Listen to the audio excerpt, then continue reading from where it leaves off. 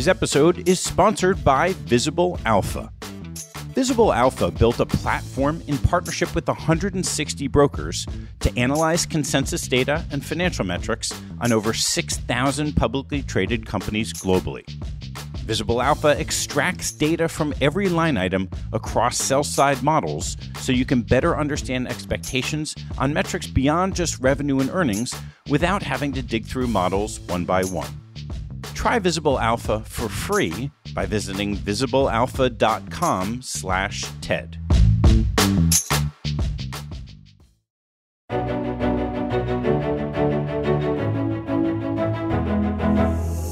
I'm Ted Seides, and this is Manager Meetings. This show is an exploration of investment opportunities through conversations with money managers conducted by one of the manager's institutional clients. We'll share the stories and strategies that attracted their attention and capital. You can learn more and join our mailing list at capitalallocators.com.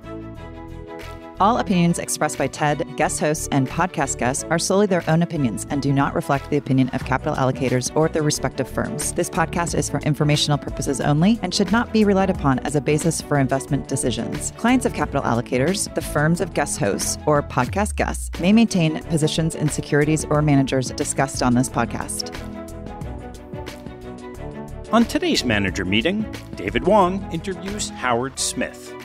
David is an associate director at Utimco, the $66 billion investment company that manages the largest public endowment fund in the country. Howard is a partner and portfolio manager of the Japan strategies at Indus Capital, an Asia focused investment firm that manages $3.5 billion, including a billion focused on Japan. Indus was founded in 2000 by its non executive chairs, Sheldon Kasowitz and David Kowitz, upon spinning out of Soros Fund Management. David and Howard's conversation covers Howard's upbringing in the rural United Kingdom, experience in Japan, and investment philosophy. They discuss Indus's investment approach, global team structure, corporate governance in Japan, and opportunities on the horizon. Please enjoy this manager meeting with Howard Smith of Indus Capital. Howard, a pleasure spending some time with you this afternoon. Would love to hear about your origin story. Thank you, David. It's always a pleasure to speak to you. I wouldn't even describe the place I grew up in as a town, actually. It was very much a village. It, I think it had barely 2,000 people. It was a very rural part of England in the south of England, surrounded by fields of wheat and barley. That was the local economy, arable farming. I guess you could say I had a pretty conventional upbringing, very you know, middle class family. I went to local state school and then a, a state secondary school. My formative years were, I think, very typical for that part of the world. I think I probably went to London once in my first 10 years of my life, uh, and that was about the extent of my travel within the UK. What I did get, though, from my early years, I think, was a love of foreign travel. We were fortunate enough to be able to travel to places like France and Spain on summer trips during school holidays. So I was very immersed in foreign cultures from a young age, and I think I picked that up from my parents. And when I was about 13, my dad went overseas to work in the Middle East for three years. So it was my mother and my sister and myself living at home. So she was kind of a single mum for about three years, and we we didn't see my father much. So that I think also inspired in me a desire one day to work overseas and to stretch my wings a bit and look outside in the big wide world, outside the little village where I grew up. I guess I had that sort of wanderlust from an early age, and I would credit my parents with their summer trips and my dad's job in the Middle East for kind of really triggering that interest. And most of your friends and family from childhood, did they stick around the village or did they spread their wings like you did? Most stuck around the village. You know, in fact, I'm still in touch with some of them. They still live in the same village. They work two or three miles away. They bought homes in that village. They started families in that village. It was still relatively rare when I was growing up in that part of the world for people to go to university. So a lot of people left school at the age of 16. I was in a small minority of kids from my school who went on to go to university. I'm actually the first person in my family who attended university. So that was a novel thing. I moved up to the north of England to a city called York to attend university. That was very unusual in my family and certainly in my peer group. And that was obviously a huge eye opener for me to do that because suddenly I was mixing with people from all over the UK and from overseas. There were a lot of overseas students there too, from Europe, some from Japan. And so I got to know some Japanese people at the university. And I think that stimulated a little bit of interest in Japan. I, I, can't confess to having a love of Japanese anime or a love of Japanese video games from a young age. That would be disingenuous. But I think I think as I went to university, and I started in 1985 at university, it coincided with the rise of Japan and, and the sort of hyper growth period in Japan in the second half of the 1980s after the Plaza Accord, and of course the big asset bubble that was forming at the time. So that was a happy coincidence, I think, that Japan's great rise and the kind of existential angst that countries like the US were experiencing over the rise of Japan coincided with my my university years. So that was just an element of timing, I guess, in my life that helped to trigger an interest in the country. What'd you end up doing after graduation? So I was going to work in London. I had a job all fixed up in London. I was going to be a property analyst, analyzing rents and yields on commercial property in the UK. But my interest in Japan had been building during this period. So much to the shock and horror of my parents, I announced that I wasn't going to take up this job in London and that I was going to get on a plane to go to Tokyo. I didn't have a job to go to in Tokyo, so I imagined this would be kind of a one year endeavor to learn a little bit of language and maybe make a little bit of money and then hopefully come back to this job. And I told them that this is what I was going to do, and they very kindly held the offer open for me and said it was an open offer and I could take it up again. So I got on a Aeroflot aircraft in October 1988. I turned up in Tokyo for the first time. That's where my real relationship with Japan started. It was a wild and crazy place in 1988. It was the peak of the asset bubble.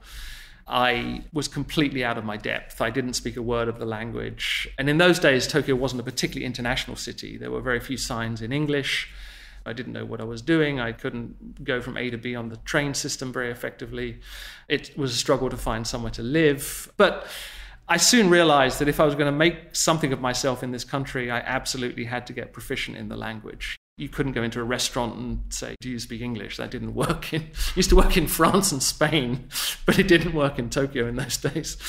So I spent about a year and a half actually at a language school studying four hours a day and that was very, very enriching for me because it opened up so many avenues. And suddenly I could communicate with people and ask questions of people. And that was probably the best decision I made because I think it's completely changed my relationship with the country. And it's absolutely made me more proficient at the job I do now. But I ended up working at Nomura in Japan. My background was economics and finance at university. That was the area I'd always wanted to go in. And I was working with a guy called Richard Koo at Nomura, who's still there. And he was a macro guy. And he was sort of a bridge between Japan and the US on areas like monetary policy. He was very well connected at the Federal Reserve and also at the Bank of Japan. So I did some ghostwriting for him, I did some editing work for him. And my goal then was to be a macro guy. I wanted to develop a career as a strategist or a macroeconomist. I hadn't yet developed an interest in single stock analysis or corporate finance. I was set on having some career to do with Japan in a macro field. And I ended up getting married in Japan. I met my wife in Tokyo. We've been married now for almost 30 years. And we moved back to the UK in the mid 90s and I got a job in London with the Economist Intelligence Unit, which is the publishing arm of the Economist newspaper, writing quarterly reports on macroeconomics. And I covered a number of countries, including Japan, but I also wrote about South Korea and North Korea and Taiwan. And that was a wonderful job for me. But I always had a desire to go back to Japan again and develop something more of myself in Japan. I'd had a relatively junior role in Tokyo between 1988 and 1992. And having got proficient in the language, I always felt that I could do more. And we ended up returning to Tokyo in 1997. And this time it was the start of my love affair with corporate finance and single stock analysis. And I got a job as a, as a stock analyst at what was then called ING Baring Securities Barings had famously gone bust in 1995 after Nick Leeson brought the bank down, punting in Nikkei futures. So ING, which is a, a, Dutch insurance company, had taken over Barings Bank and was called ING Barings. And I got to work with a really inspirational guy called Mike Allen, who was the retail analyst at Barings at the time. And I took on some of the smaller cap retail stocks working under him. And that really lit up in me a passion for for corporate finance and for analyzing P&L and balance sheet and cash flow. And Mike was and still is to this day an extremely passionate writer and a great storyteller and his written work was exceptionally interesting to read. So this to me was a tremendously fascinating nexus of being able to apply some technical knowledge about accounting and modeling and forecasting with writing and projecting a message and I found this really really interesting. But through my job as a junior retail analyst, I got to know Byron Gill, who was in Tokyo at the time as a retail analyst. And Byron is now the managing partner of Indus Capital and one of the founding partners of the firm in the year 2000. So that's how my path crossed with Byron.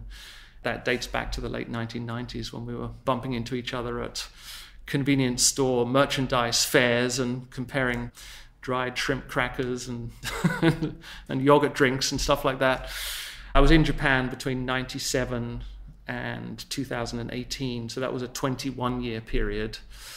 And if you add on the four year period between 1988 and 1992, I lived in Tokyo for 25 years in total, which is the majority of my adult life. And most of that time has been spent with Indus. I joined Indus in 2002 from ING Barings. And I've spent the last 20 years. This year is my 20th anniversary at Indus. So you first got to Tokyo after graduating. It was sounds like it was right around the boom and bust of the early 90s bubble. Did that experience being there on the ground for that and seeing that have an impact on your investing philosophy at all? I think it was absolutely formative. So I experienced the end of the bubble, the peak of the bubble and then the beginning of the bursting of the bubble. The market peaked in December 1989, and the Bank of Japan was raising rates through 1990. So, being at Nomura at the time, I had a front row seat on the bubble peaking and then the bubble bursting. And of course, that was the beginning of a great balance sheet recession in Japan the ramifications of which persist to this day. You know, we're still we're still talking about this 30 years later. I think we've at last worked through that now, and corporate Japan is in a much, much healthier state than it was 30 years ago. But yes, the idea that companies could drown under a weight of debt and that balance sheets could have large write downs and that stated assets aren't always what you think they are I think have, has had a profound impact on the way that I think about companies, or at least the importance of looking at capital structure and balance sheet and cash flow in addition to standard P&L analysis and what's happening to revenues and operating profit and EPS. The trifecta, if you like, of all three of the financial statements, I think was seared into me at a very young age. And I think also the notion that value investing is relevant and works was seared into me at a young age too. The period from 1992, after the initial bursting of the bubble, really up until I think the global financial crisis and beyond, until we got into a global era of zero rates around 2015 or 2016. Value investing was the predominant form of investing, and certainly the model that resonated the best in the Japanese market. So I've always been extremely conscious of multiples. I would call myself, if you had to put a label on me, I'm probably a GARP investor, a growth at a reasonable price investor. But I think my understanding of what constitutes reasonable price has been very much formed by my experience in Japan from 1988 onwards. So you joined Indus in 2002. Talk about your path growing up through the firm and now managing the Japan strategies. In those days, Indus had two funds. It was a hedge fund. We had two long short strategies. We didn't have a long only business in those days. We had a Japan fund that was managed by Sheldon Kasowitz, and we had an Asia ex Japan fund that was managed by David Kowitz. Both of them were long short strategies. And both Sheldon and David had been senior figures at Soros, working on the quantum funds, and had spun out of Soros in 2000 when Stanley Druckenmiller moved on to do things for himself. So, a group of investment professionals led by Sheldon and David, and taking along characters like Byron Gill and Jim Shannon, who's now our CEO, and Ben DeSoma, who's now our head of research. Those guys spun out of Soros to form Indus in the year 2000. Byron was the lead analyst on the Japan Long Short Fund, and I joined as the second analyst on the Japan Long Short Fund.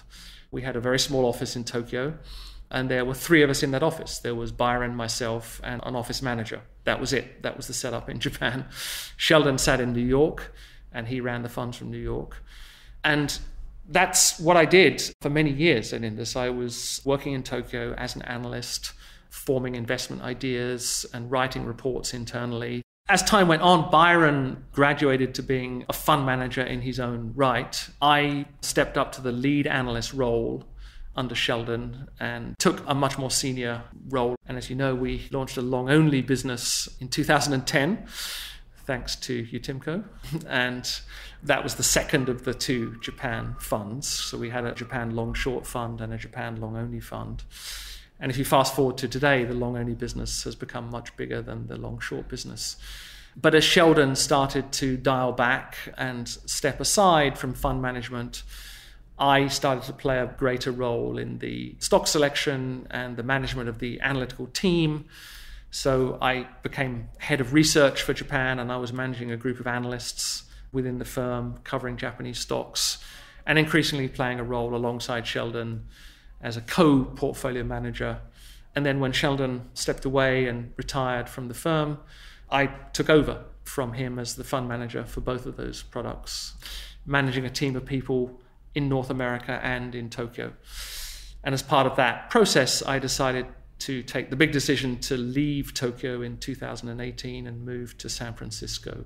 Talk about that decision to move from Tokyo to San Francisco. As you can tell from my accent, I'm not American. And so I'd never lived in the States before. I had no family links here, had no particular personal reason to be here. But when I started at Indus in 2002, the competition was the big US mutual fund industry. It was Fidelity and Capital and Putnam and T. Rowe. And the toolkit that people were using was broadly similar to the toolkit that we use. It was fundamental investing based on company visits, based on getting to know the management of companies well.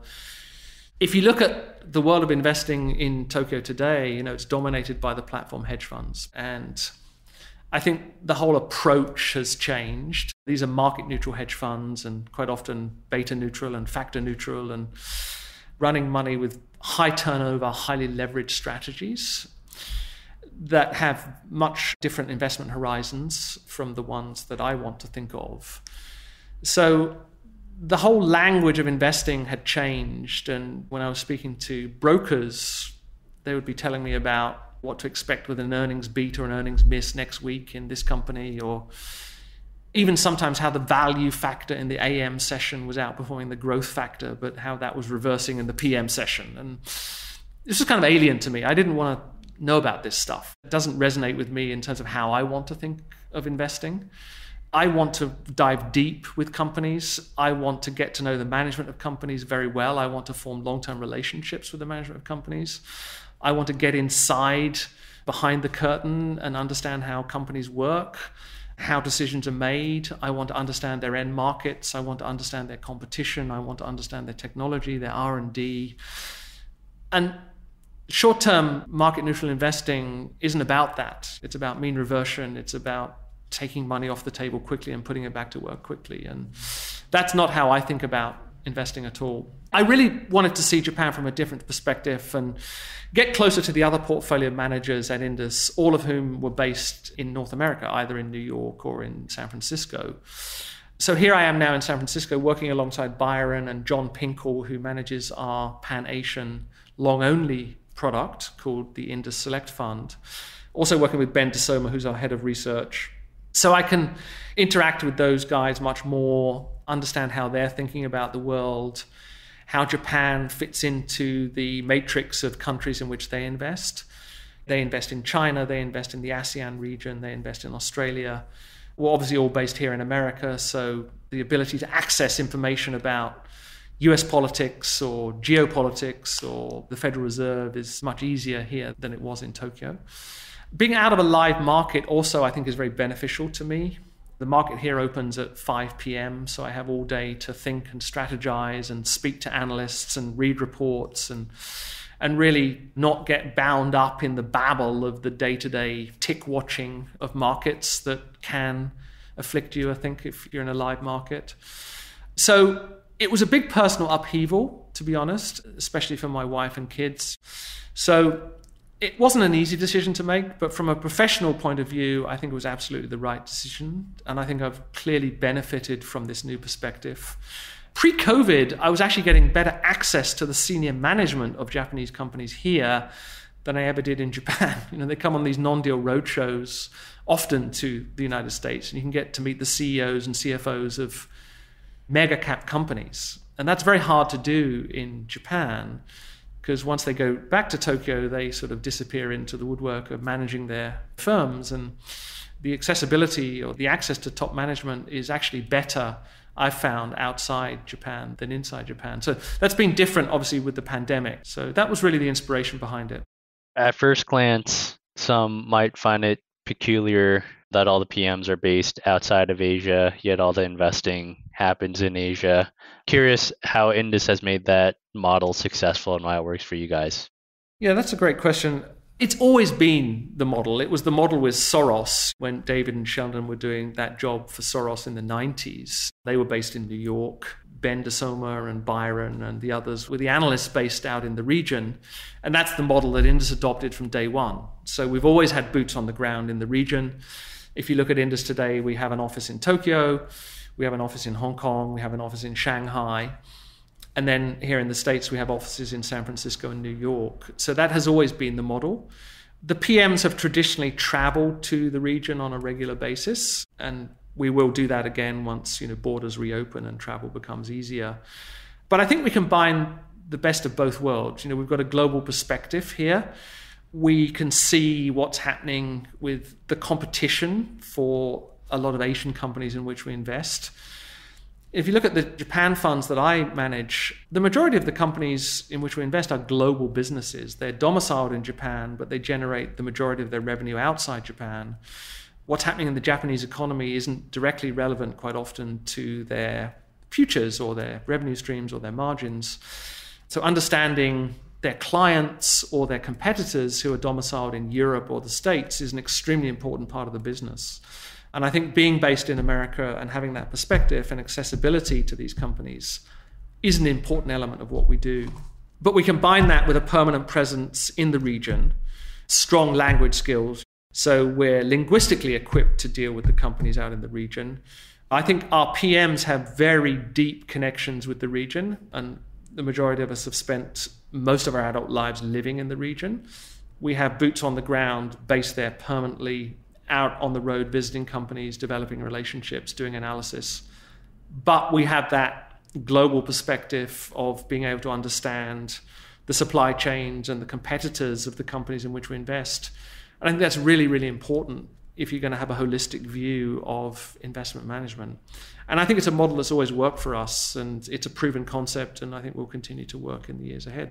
Talk a little bit about how collaboration happens internally at the firm, what methods you guys use, and how you guys schedule everything and coordinate with so many different people in so many different places. So I think it's a very coherent system that really relies heavily on the written work that we produce. We archive our work on multiple internal systems, actually. I think our incentive structure is designed in a way that heavily incentivizes people to collaborate across products. So our teams are loosely arranged around individual funds, but almost every analyst reports across multiple funds and speaks to multiple fund managers. And that's nowhere is that more true than Japan because we have myself and Byron and John all investing in the Japanese market. some long short, some long only. So, in addition to the written work, we have regular team meetings and what we call PASTA calls. PASTA is, is our way of essentially preparing and evolving a thesis through a determined process and exposing it to scrutiny and debate. So we use the written word and a lot of internal face to face meetings to scrutinize and debate and challenge the underlying work of the analysts and the thesis that they're developing. But those analysts are heavily incentivized through our compensation structure to cross fertilize or pollinate their ideas to PMs other than their direct reporting line. Expand on the pasta making process a bit. Yeah, so a pasta normally starts with a one or two page document that I would call 60 or 70% cooked, if you like. It's not a completely off the cuff random idea. There's a lot of work that goes into an initial pasta report. And then the analyst will volunteer his or her time to present that report to a group of portfolio managers. We'll then go through an initial meeting where the portfolio managers and the other analysts are free to scrutinize and challenge the work that's been done on that company. We may decide at that point to shoot it down and, and, move on. We may put it on ice for a while and say it's potentially very interesting, but the timing isn't appropriate right now. We'll come back to it at a later time. But more typically, that work would lead to a list of follow up projects or topics that need to be addressed. We'll collectively decide that we need to develop it in this way or, or another way. We're lacking a little bit of insight in this area or that area. And it will therefore evolve into a longer form note with a lot more information in terms of charts and tables and a fully blown earnings model that forms really the fully baked thesis, if you like.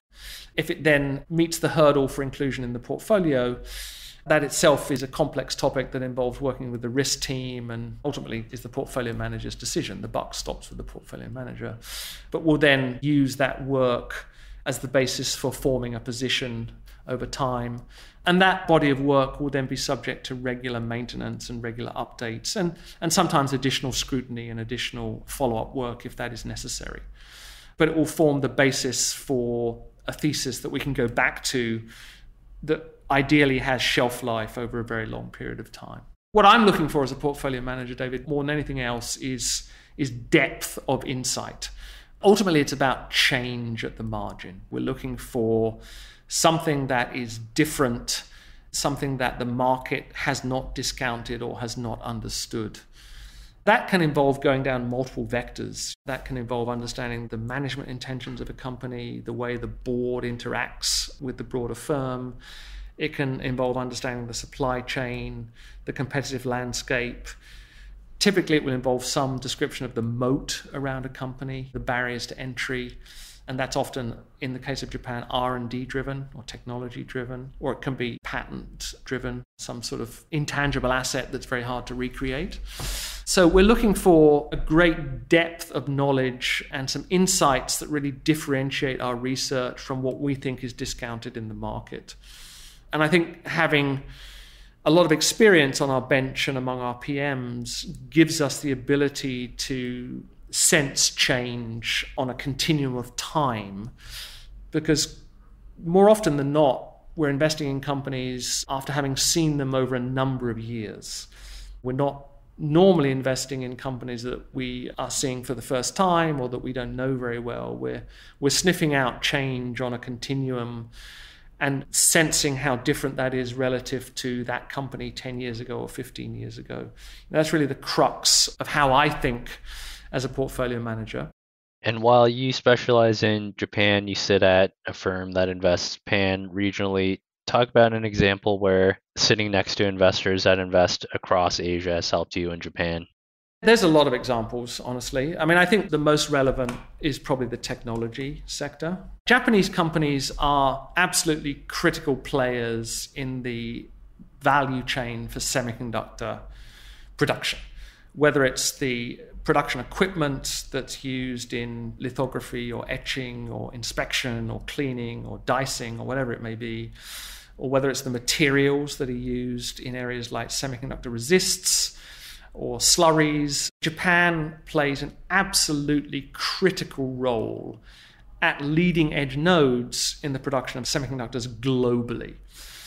But the ultimate producers of those semiconductors are companies like TSMC or Samsung or Micron or Intel. They are not Japanese companies. So the Japanese companies are the B2B businesses that the end consumer doesn't see. When you buy a Samsung phone, you're completely unaware of the Japanese content behind that phone. But that phone isn't going to see the light of day without the input of a large number of Japanese companies. So I think the interplay of the branded producers of consumer electronics and the supply chain behind them, the vertical integration, is something that is absolutely critical to what we do. So, as I think about investing in companies in Japan that make semiconductor production equipment, I need to know what's going on at TSMC and Samsung. I need to understand the technology roadmap of these companies. I need to understand the capex intentions of these companies. And there's a huge amount of work going on at Indus Capital on those very topics. So I think that's a really powerful differentiating factor for us as we invest in a market like Japan. But Japan is largely these days a B2B investment opportunity as opposed to a B2C. I mean, of course, there are B2C companies in Japan and there are very big brands.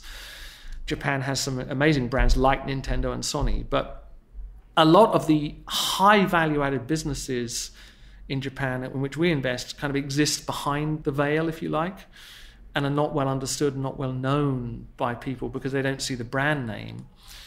But they're absolutely essential to the development of leading edge technologies and products that consumers touch and feel and use. Earlier, we talked about the core investing principles of the strategy heavy focus on bottom up research, cash flows, valuations and that stayed consistent over your time at Indus. But the strategy's also made some material adaptations. We talked about changing market structure in Japan from when you were first starting there to what it looks like today. I'm thinking of Q4 2018 after a tough performance period, made some material changes.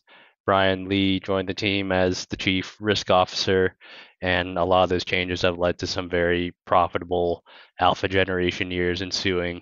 Talk a little bit about how you preserve the first principles of the strategy, but adapt around the margins to continually improve year after year.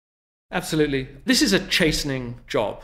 It's a job that you will never master. There are always challenges, there are always opportunities, and overcoming the challenges and addressing the opportunities is a life work that will never be complete.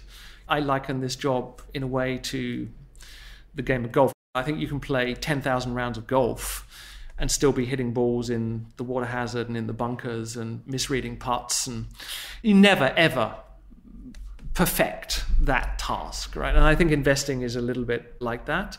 And that to me is the fascination of it. That's what makes it so stimulating it's always going to throw curveballs at you. It's always going to bring you down a peg or two. It never allows you to get too far overconfident or above your skis. So 2018 was an absolutely classic example of a very chastening period for us and for me personally. So you mentioned Brian Lee, and what Brian has brought to Indus, I think, is an incredibly analytical, data driven approach that pushes information at the portfolio managers. So instead of the portfolio managers having to go and seek out that information or make requests, Brian is proactively providing a huge amount of data and analysis on risk and the interplay of risk with opportunity or how we define asymmetry, the upside downside of the opportunities as we see them. So for me, as kind of a, a geek and someone who always wants to absorb and learn new things, it's been incredibly enlightening because it's helped me to understand much more intuitively, I think, because I, I now am so accustomed to looking at his data and his analysis, the interplay of risk management with the fundamental bottom up approach that we use. So, for me personally, the most enlightening aspect of that has been the sort of marriage of value at risk at the individual stock level with the subjective opportunities that we see, i.e., the, the upside versus downside that we model.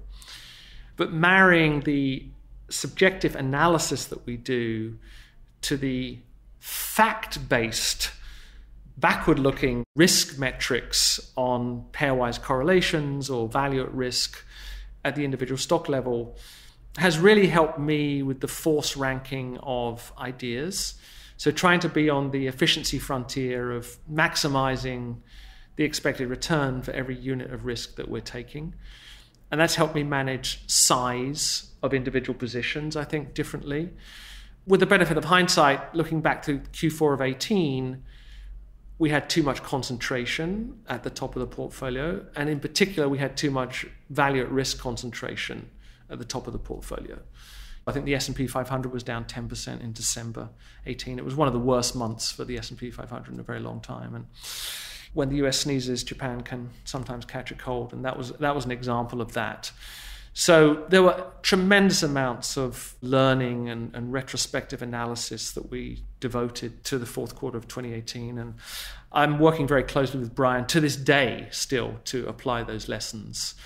So it's, it's the marriage of portfolio construction and risk management with the underlying toolkit, which, to your point earlier, has stayed constant through time. We can still be fundamental investors and visit companies and have long term investment horizons and be true to the original toolkit that's existed throughout the history of Indus, but marry that to a lot more data driven risk management toolkits that help us to be on a different and hopefully better efficiency frontier than we were on before. And it's ultimately using information and analysis to improve our edge and improve our insights. The more information that you have, the more edge you're going to develop, and the better you're going to do this job. And the pursuit of information is endless, so you need to be cognizant of that. You need to be cognizant of acquiring too much information and starting to get discombobulated by it or confused by it so, drawing the line when the marginal utility of an extra unit of information is no longer positive, I think is an important skill because you can get yourself very confused and you can drown in too much information. So, drawing the line on what makes sense and what doesn't in terms of the analytics is, is critical. But ultimately, more information, in my opinion, equals more edge if it's used appropriately. Zooming out a bit, what makes you excited about Japan today? There are so many things David, that make me excited about Japan today. I could speak for hours about it. It's a market that still has a tremendous perception problem. And that to me is so much more of an opportunity than a threat because people misunderstand the place. They paint it with this brush that I think is so out of date and so poorly describes the current opportunity set. You know, 30 years after the bursting of the bubble, people are still talking about public debt in Japan or deflation in Japan or poor corporate governance in Japan. And I think people tend to look at Japan through a very shallow prism that can paint it in sort of broad brush terms without really peeling off more layers of the onion and understanding what's happening beneath the surface. So I think Japan has a growing number of world class companies that have world class governance structures, world class capital allocation decisions, but yet do not trade at world class valuations. That to me is the disconnect in Japan. You have companies that have enormously deep and wide moats around them, that have a governance structure that absolutely is top decile on a global stage that generate free cash flow relative to sales or relative to assets that's absolutely world class on a global stage, but yet do not trade at multiples which come close to reflecting that level of excellence. There is tremendous mispricing in the Japanese market that stems from years of neglect and misunderstanding and focus, I think, on other places. You know, specifically, I think the US and China over the last six or seven years in, in an era of, of low rates and kind of growth at any price investing. So I think as people reassess the global landscape, Japan will get more attention. It certainly deserves more attention. It is a two tier market. There are still companies which are not well governed, which make bad capital allocation decisions, which have very low return on equity. I think it's an incredibly interesting opportunity set for long short investing, actually. There's some great long opportunities, there's some great short opportunities in Japan. But broadly defined, it's underanalyzed, it's poorly understood, and there's not enough international capital which is seeking out opportunities in that market. So I'm very fired up about the opportunity, particularly I think after the last six or seven months when we've seen you know another dislocation in markets, we've seen a lot of derating of many of these world-class companies. And I think that reflects a slowdown in global growth and the likelihood of a recession in the US, and at some level I think is justified. But I believe we're very deep into that derating process now, and we're a lot closer to the end of it than the beginning of it. And that increasingly to me makes the setup very, very interesting on so many vectors, on, in so many different end markets. But I think particularly in the globally exposed companies that are sensitive to economic growth in China and the US, and which are already discounting a pretty steep downturn. And I think in certain cases have definitely overshot on the downside relative to the three to five year opportunity they're going to see in their earnings and cash flows. And there's been a monumental improvement too in the corporate governance over the years. I know you have some great stories from many years ago meeting with management teams. Yeah, I mean, it is a two tier market still, and it's still possible to have disappointing meetings in Japan when you're almost speaking a different language about the cost of capital or about balance sheet structure. But no doubt, on average, the standard has risen tremendously particularly in the last 10 years, although it was certainly happening between 2000 and 2010 as well. But I think the advent of the Corporate Governance Code and the Stewardship Code in 2014 and 2015 really kick-started an additional improvement in governance and capital allocation. But yeah, in my early years at Indus, I was doing a visit with Sheldon. It probably would have been about 2004. I won't call out the company by name, but it was a small Japanese company that was headquartered in the suburbs of Tokyo. They made molded plastic containers and some of them went into cartridge cases for toner and ink used in printers. And they also made big plastic boxes, storage boxes that you can store your clothes in or whatever. But this company had negative enterprise value. It had its net cash on the balance sheet exceeded its market cap. And we were having a meeting to talk about the valuation of the company, to talk about the fact that it may be a good idea for the company to use some cash on the balance sheet to buy back stock. We floated the, the notion that it would actually be really good for the management to buy out the company and do an MBO, and they could make themselves very rich by doing that. they could they could buy the company and pay themselves lots of money in the process. And we were meeting the president of the company, and he just didn't grasp what we were talking about at all. It was like we were speaking a completely foreign language. I was doing the meeting in Japanese, and he was getting increasingly frustrated by the line of questioning. And we were about 30 minutes into the meeting and he sort of snapped shut his folder that he was using to talk about what he wanted to discuss. And he said, Nonsense. This is nonsense. Please leave. I'm not talking to you anymore. And the IR guy got up and opened the door, and we were literally shown out of the building. He just stopped the meeting and kicked us out of the meeting. I think the chances of that happening today are essentially nil you may agree to disagree with a company and they may have a poor understanding of the cost of capital, but the chances of you actually being kicked out of a meeting by a president because the company has negative enterprise value and he doesn't want to talk about it, those days are probably behind us. And if you look at the vast majority of companies in which we invest, there's a huge improvement in their governance structures. They, at the very least, will have a third of independent directors on the board, quite often a majority of independent directors. The chair of the board may be independent. We call them self help transformations. But there's so many big cap Japanese companies that have shed non core assets that have focused their capital on higher margin businesses with higher asset turnover much lower capital intensity, much higher levels of free cash flow generation. And they're returning more of this free cash flow back to investors in the form of dividends and buybacks. And people just haven't fully appreciated this change, I don't think. And this goes back many, many years.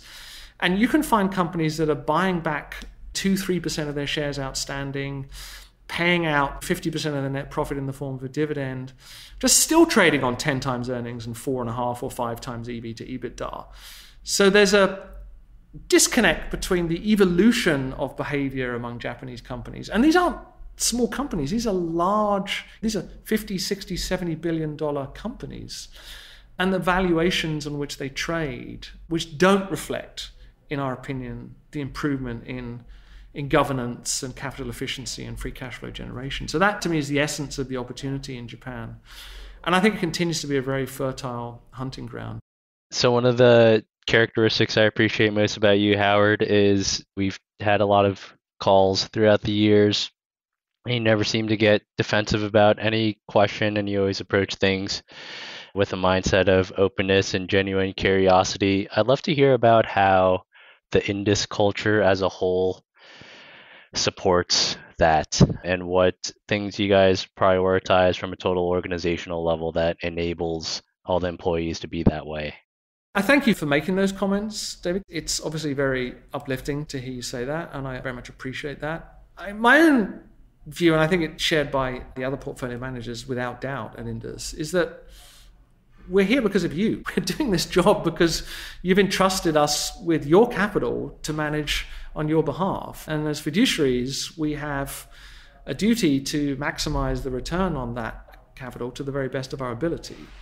I think you're very aware that we're going to make mistakes, but what we owe you is a commitment to learn from those mistakes and try to improve and build new techniques that avoid or at least minimize the risks of running into those same problems in the future. So, as I mentioned earlier, this is a chastening business, it's a humbling business. It's a business that requires resilience and self-confidence and self-belief. You can't you can't wilt under the pressure. You have to have the ability to come back and and surmount new challenges and take on markets. You know, you, you can't you can't invest without some degree of confidence. We're in the risk business, and taking risk involves belief. But it's also a business that will knock you back, and you're never going to be bigger than the market. You're going to be one small cog in a very, very large wheel. So there's always going to be opportunities to learn from what happens. And in my opinion, it's very important to be an open book about that with the people for whom we manage the capital. So that's my own guiding philosophy. On the broader question of Indus, I think we've obviously evolved a lot as a business over the last 20 years. We started as a long short shop. We're now a majority long only shop, although we, we are still running, you know, a lot of long short money and trying to grow that part of the business too. But in a way, we've had our own self-help transformation. I think through various iterations of our business and various changes of ownership and portfolio management, we became overly complex we added on parts of the business that, again, with the benefit of hindsight, perhaps were a little misguided and were taking us in a direction that was distracting or adding unnecessary complexity to what we were trying to achieve. So we've we've pared Indus back to a smaller number of strategies. We've worked very hard on our business development side. We're trying to project a much simpler version of ourselves with a group of products that's smaller than we had before, but which should be more coherent in terms of an offering, easier to understand. And we've reduced the headcount at Indus. We're a, leaner business than we were five or six years ago with a much simpler lineup of products. And I think that's brought a unity of mission, a unity of purpose to the firm. It's brought some new adhesive, I think, to the group. It's easier to know people better if there's fewer people you're, you're dealing with within the firm broadly. We're a small partnership. The partnership speaks regularly. We're very open with each other about where we think we can improve. I think there's no dominant character at Indus who has some overriding control over the business or manages it in his or her vision. We have, a, we have a sense of common purpose, but we're also allowed to express ourselves very freely and very openly and to challenge each other. I think we're an incredibly open book when it comes to being able to challenge each other, to speak to each other. We're actually working with an outside group at the moment called the Conscious Leadership Group, which I think has added to our sense of unity and purpose and opened up more doors in terms of being open with each other and and being constructively critical of each other and challenging each other to be better versions of ourselves and not having any qualms about doing that. So we've gone through a tremendous change. You know, the original founders and owners of the business have now retired. The people who ran the funds originally are, no longer running money for Indus. So we've gone through a complete ownership change, a complete change of fund management. So if you like, you could call this Indus version 2.0. Would love to close out on some fun questions. First one, would love to know what you do to decompress from your workday. I know we've had conversations about Squid Game over dinner, so at least I know I know one thing. But other than that, I think the one thing that really stayed with me, you know, growing up in this village of 2,000 people, was the great outdoors. As a kid, I was never indoors. I never sat indoors in front of a computer or in front of a TV. I lived outdoors, whether it was kicking a football or chasing my sister or what you know whatever it was. So I love to be outdoors and I love the natural world and one of my other passions in life is trying to reverse some of the damage that the human race has done to the natural environment. So I'm an avid ornithologist. I love watching birds, and moving to San Francisco has been wonderful in that respect because it's an incredibly rich environment for bird life. There's seabirds, there's raptors, there's songbirds. And I'm lucky enough to live in a part of the city that's sort of on the edge of some open space. So I love getting outdoors with a pair of binoculars or you know a camera with a telephoto lens to observe the natural world. What are your favorite books? I'm more of a non-fiction reader than I am a, a fiction reader. I'm very interested in history and archaeology. So I love learning about ancient Egypt. I love learning about the history of Europe and migration patterns through the Middle East and the Caucasus area of Russia, uh, how Europe was populated. So anthropology is is something that I find very, very interesting as well. I'm one of those people that likes to know a little bit about a lot of things. The history of the motor car is something I find extremely interesting. When I was at ING Barings, I was the automotive analyst. So the history of Ferrari or the history of Porsche or the history of Lamborghini, I find those topics fascinating. So I love to read about that.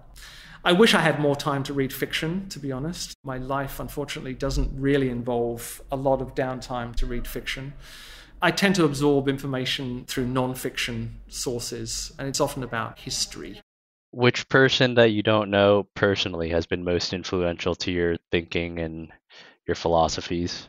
Yeah, that's a great question. I mean, there's so many, honestly. I'll be honest, I don't think there's any one investor who has had a tremendous impact on me. I think I've learned my trade largely through the people at Indus who've influenced me, you know, Byron Gill, Sheldon Kasowitz. Those have been my mentors as investors. I mean, I was obviously familiar with the work of Benjamin Graham and how he influenced Warren Buffett. And I've read a lot about Peter Lynch at Fidelity. But I can't say honestly that they've had an enormous influence on the way that I think about investing as a craft. I think that's been developed through my time in Japan and my understanding of the Japanese language and my 20 years at Indus Capital and observing and learning from those who came before me at Indus. In terms of people who, the people who inspire me outside this realm and this industry, I think are always people who try to maximize their ability and who come from humble backgrounds or people who weren't necessarily born with a lot of natural talent, who've had to work extremely hard to get to those places and have worked passionately and relentlessly to achieve their goals. I'm always inspired by people like that. Well, Howard, it's been such a pleasure speaking with you this afternoon. Thank you for all the work and partnership that you do on behalf of UTIMCO. It's really been an honor. Well, likewise, David. It's been such a pleasure speaking to you, and we're honored and privileged to be your partner on this quest. I hope you enjoyed this conversation and maybe even piqued your interest to explore further. See you next time.